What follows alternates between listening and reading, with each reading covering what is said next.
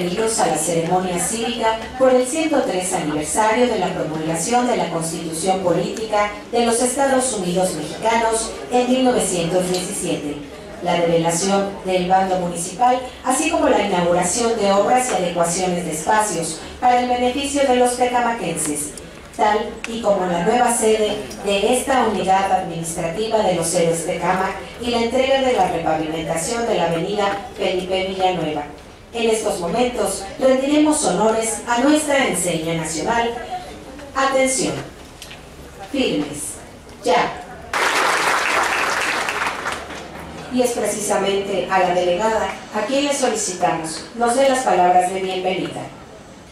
Buenas tardes a todos los presentes. Yo, su servidora, Anayeli Mejía, delegada de los héroes de Cama, sexta sección, representando a la delegación número 32, que va de la mano con la ciudadana Nancy Ortiz, presidenta de COPASI, tenemos el honor de darle la bienvenida a nuestra alcaldesa, Mariela Gutiérrez Escalante, y agradecer por todo lo que ha realizado a lo largo del año 2019 y 2020. Se escucha fácil, pero detrás de esto hay un arduo trabajo de equipo. La delegación 32 le reconoce eso. Por eso mismo nos sentimos orgullosos de tenerle como nuestra presidenta municipal, ya que por más de 15 años las administraciones pasadas no habían mirado hacia nuestra comunidad. Hoy en día podemos decir que usted ha acercado los servicios a esta comunidad, a la nueva administración, ya que cuenta con pago de predio, agua, INE, registro civil, desarrollo económico, desarrollo urbano, condóminos, etc. Y solo esto, no solo esto, premia también a nuestra gente cumplida en tiempo y forma en sus pagos de impuestos, sin discriminación alguna, ya que todos participan. Esto se le aplaude porque nos motiva a ser cumplidos y hasta alimenta nuestras esperanzas al sentir que podemos ganar una camioneta, una pantalla, de igual forma, le damos las gracias por la repavimentación en avenidas principales, como Felipe Villanueva, Francisco Villa, Pino Suárez y Revolución, al igual que a la recuperación de espacios públicos. Hoy en día nuestros niños pueden salir a patinar, a jugar sin preocupación alguna, ya que contamos con mejor seguridad pública. No solo eso, sino también se ha preocupado en mantener limpio a los héroes, con la recolección masiva de residuos sólidos en nuestras avenidas principales. Todo esto sin costo alguno, que contribuye a nuestro bienestar. También ha realizado eventos masivos como fue el 10 de mayo, presentándonos a grandes artistas como Yuri, Albertano, El Macaco, Doña Margarita Francisca, Matute el Día del Maestro, así como presentándose a celebrar nuestras fiestas patrias dando el grito de independencia. El Día de Muertos obsequiando a nuestros niños su calaverita y varios puntos de héroes, ya que estos eventos nunca nadie los había realizado. Hoy en día es muy grato saber que alguien se preocupa por héroes de cama, no solo por el bienestar y la seguridad, sino por nuestra diversión. Le aplaudimos todo esto a nuestra alcaldesa. Muchas gracias a usted y a, nuestro, a su gran equipo de trabajo. La Delegación 32 Copasi se siente orgullosa de poder trabajar con usted de la mano. Seguiremos confiando en usted porque sabemos que vendrán cosas mejores.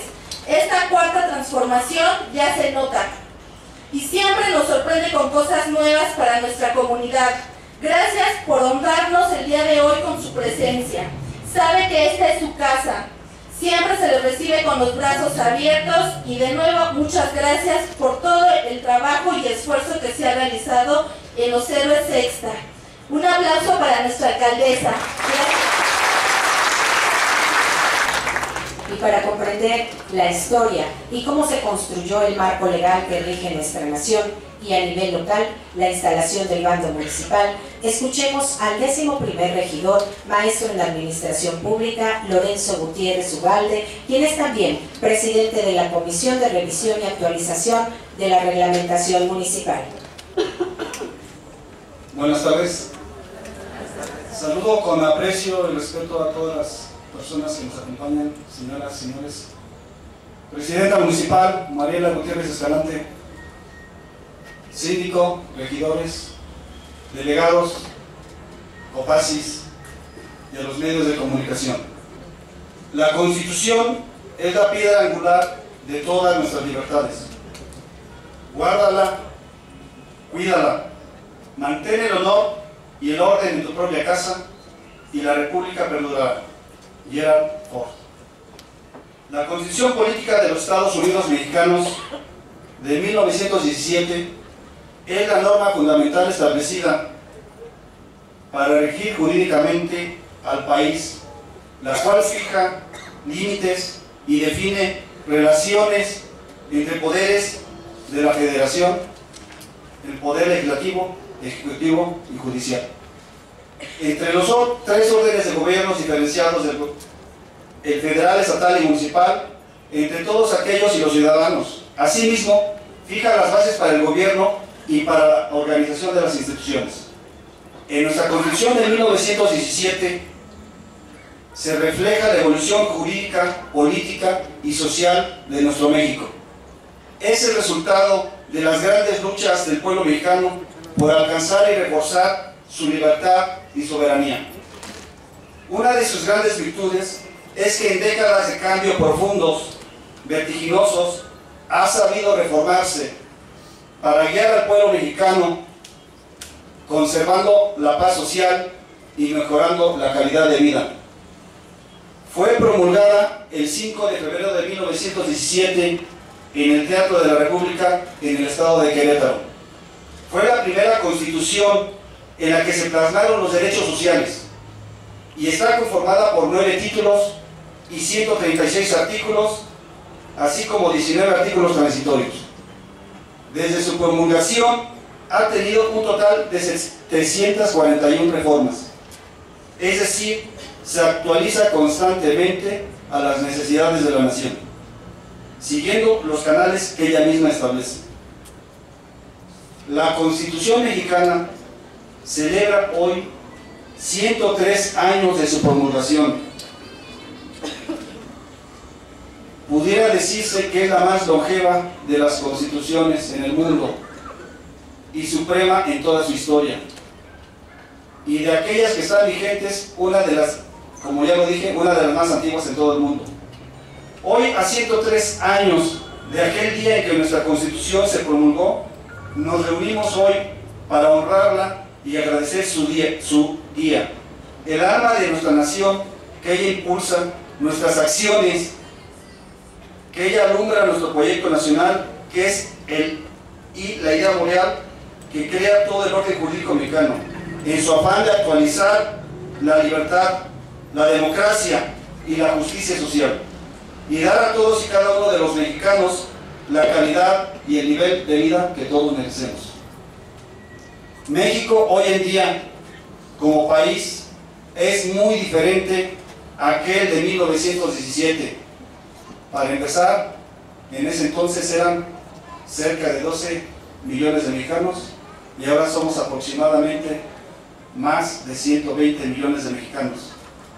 Las características y necesidades son totalmente diferentes y tenemos que seguir evolucionando.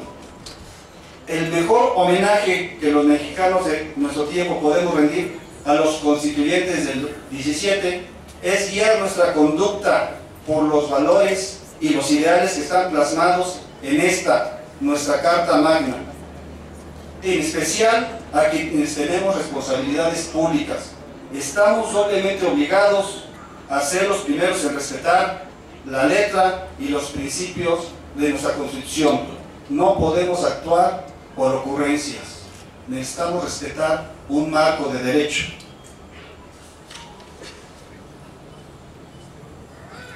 Finalizo mi intervención citando las palabras del presidente Venustiano Carranza. Al protestar la Constitución de 1917 dijo, ahora solo queda la obligación de ir a la práctica de la ley suprema, llevándola en nuestras manos como la enseña que nos hará grandes, justos y respetados entre los demás pueblos de la tierra que nos traerá la paz y la prosperidad, y que acabando con todas nuestras rencillas, nos llevará a vivir la vida tranquila de los pueblos libres, por el respeto a la libertad y el derecho de cada uno. Muchas gracias. Y en estos momentos solicitamos a la presidenta municipal de Tecámac, Mariela Gutiérrez Escalante, nos haga favor de develar esta placa. Si la pueden acercar por favor al centro. Y estas son las obras que se entregan en el Tecámac, sexta sección.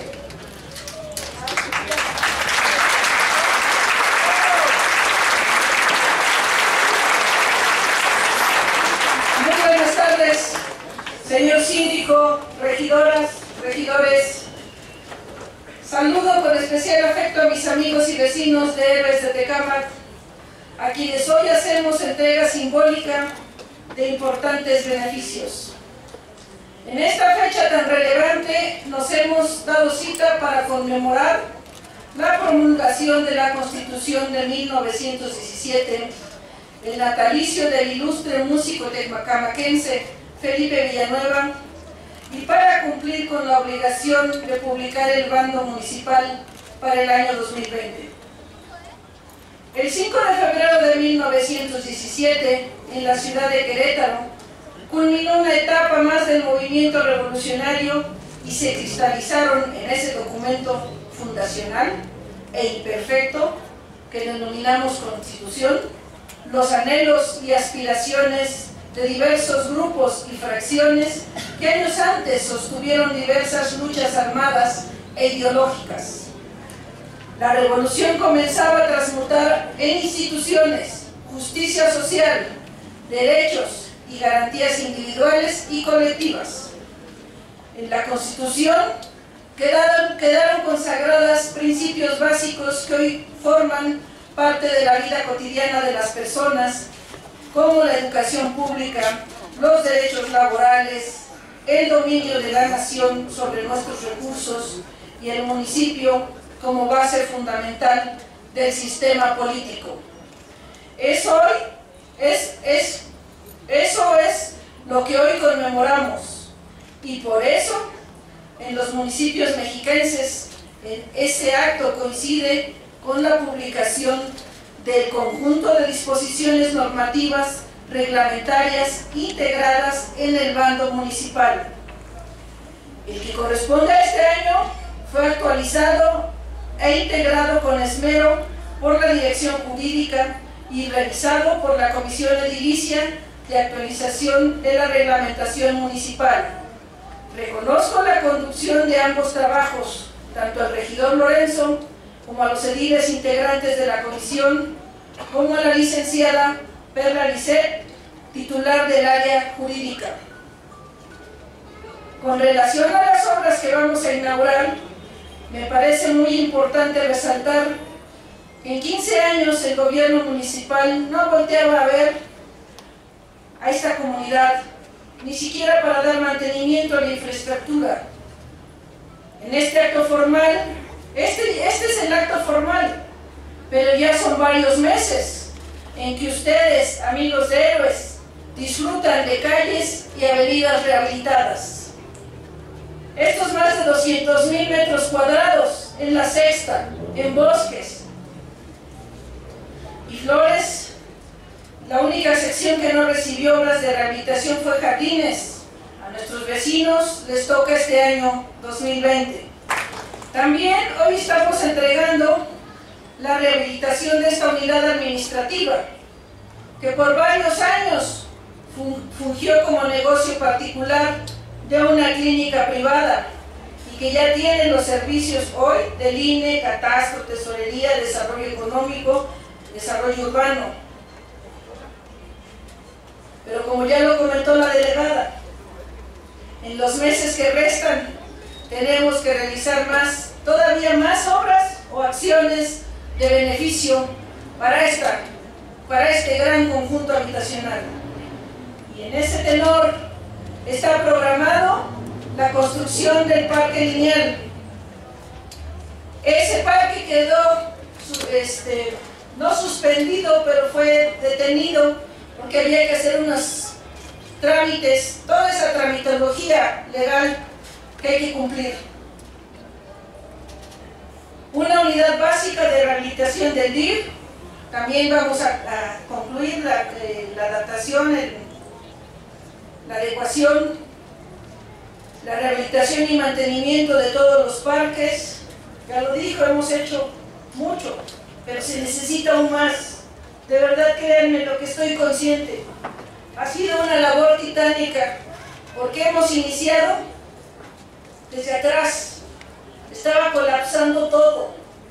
Y hoy, como bien lo dijo, tenemos que luchar en el día a día, pero todos juntos. Yo convoco y autoridades auxiliares, amigos, amigas que nos acompañan, vecinos, vecinas de los héroes, que nos ayuden en las disposiciones del bando que el bando establece.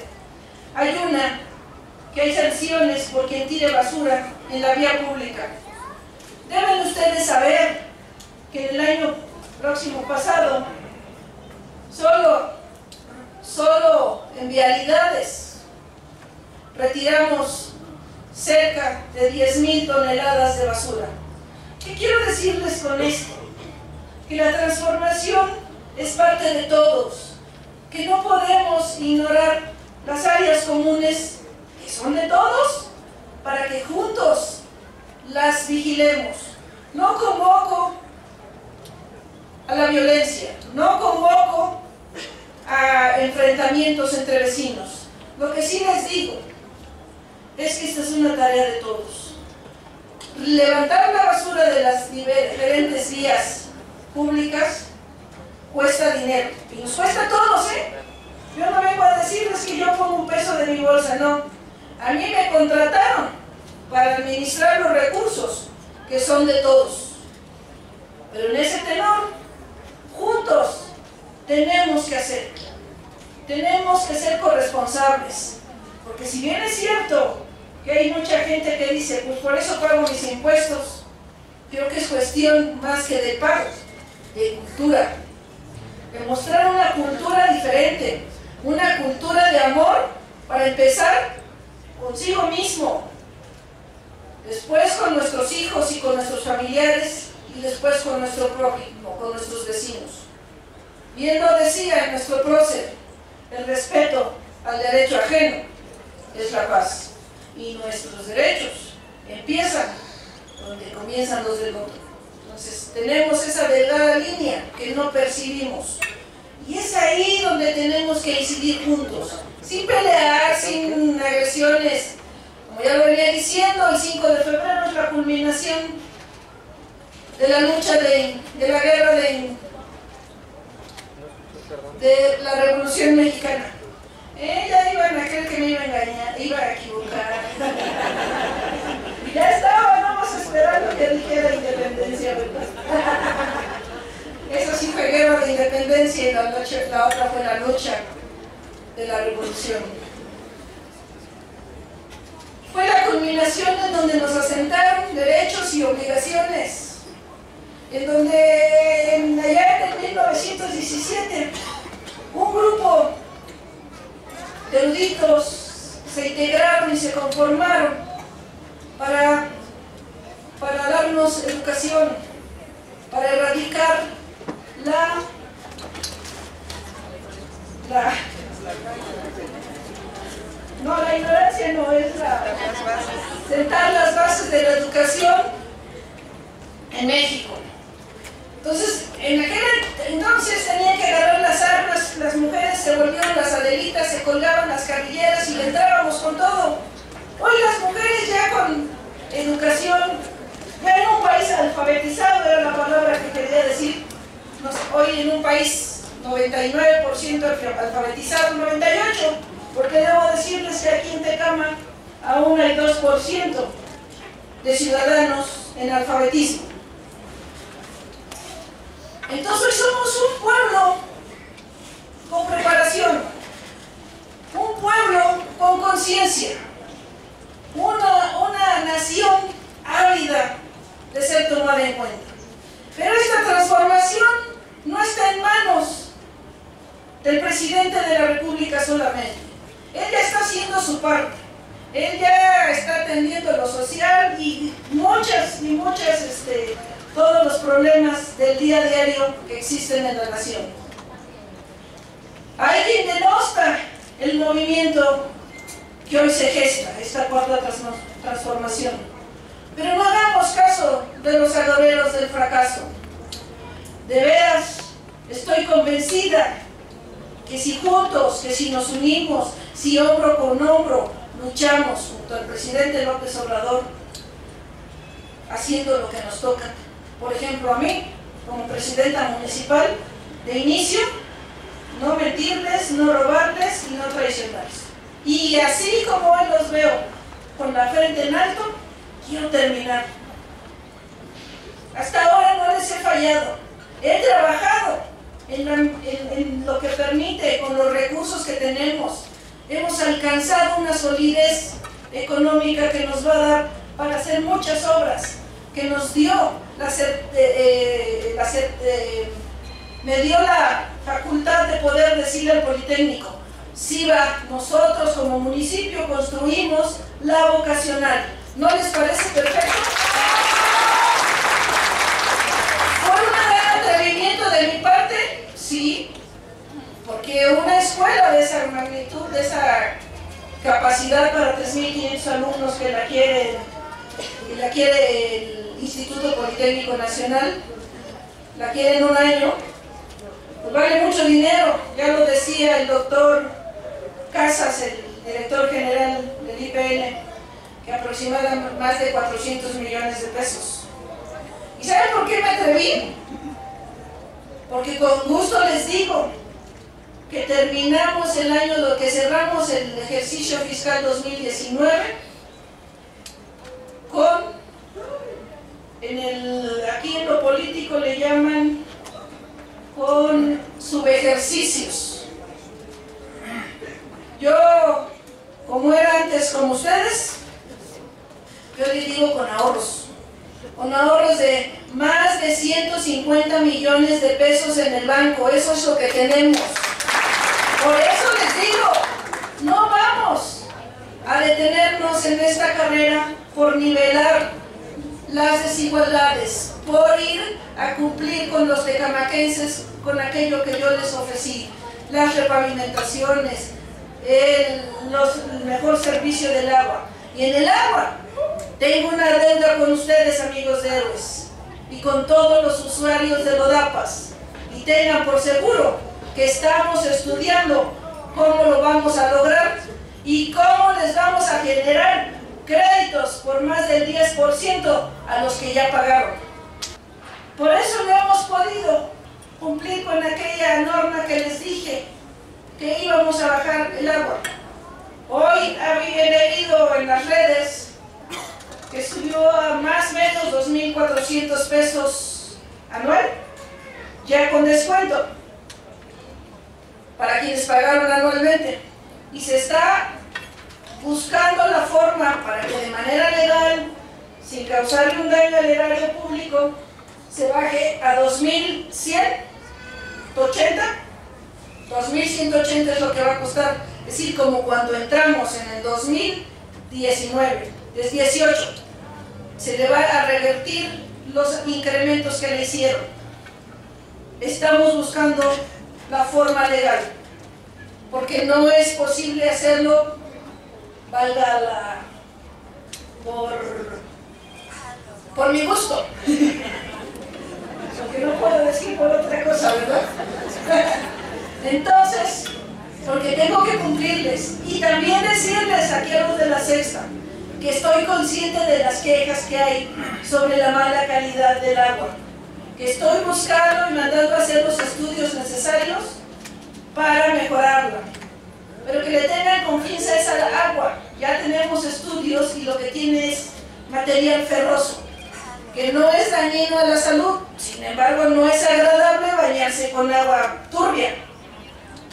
Cuenten con que este año lo vamos a solucionar y vamos a buscarle a dónde metemos, en qué vena metemos la bomba. Esa es una instrucción, señor director de Lodapas.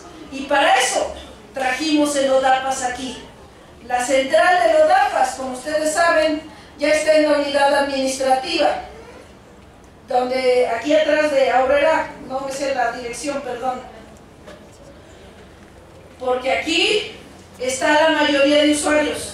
Claro, sin descuidar a los usuarios de la zona centro, centro norte de Tecama, que están con el ODAPAS. Allá van a tener su centro de atención allá y los de héroes aquí. ¿Por qué? Porque me interesa servirles, me interesa que ustedes, que ustedes estén más a gusto con, con todas nuestras tareas y nuestros trabajos. Entonces, ese es mi compromiso. Este año quiero, director de ODAPAS, y si ustedes me lo autorizan, señores del Cabildo, que me apoyen para que presentemos ante la legislatura que nos tiene que autorizar el retroactivo de ese, de ese cobro que se les hizo a los vecinos. Es decir, se les va a hacer un crédito para quien pague puntual en 2021, va a tener alrededor de 200 y tantos pesos de crédito para descontarles.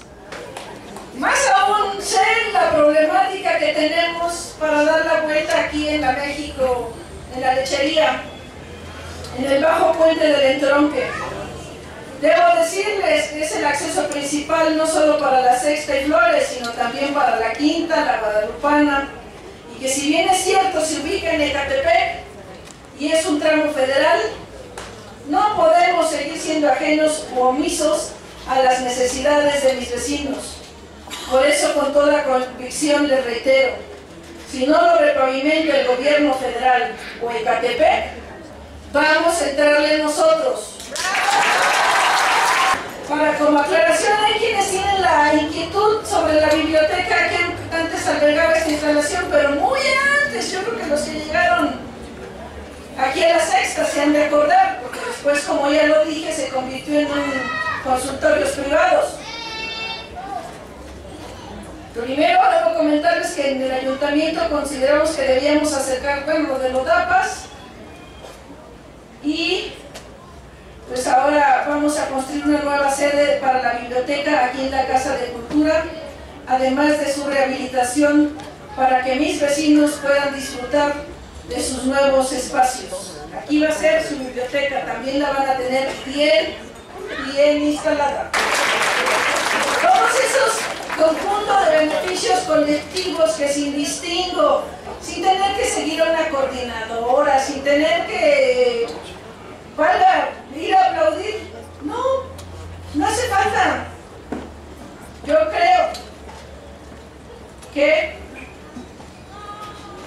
el mejor aplauso es el que me llevo cuando camino.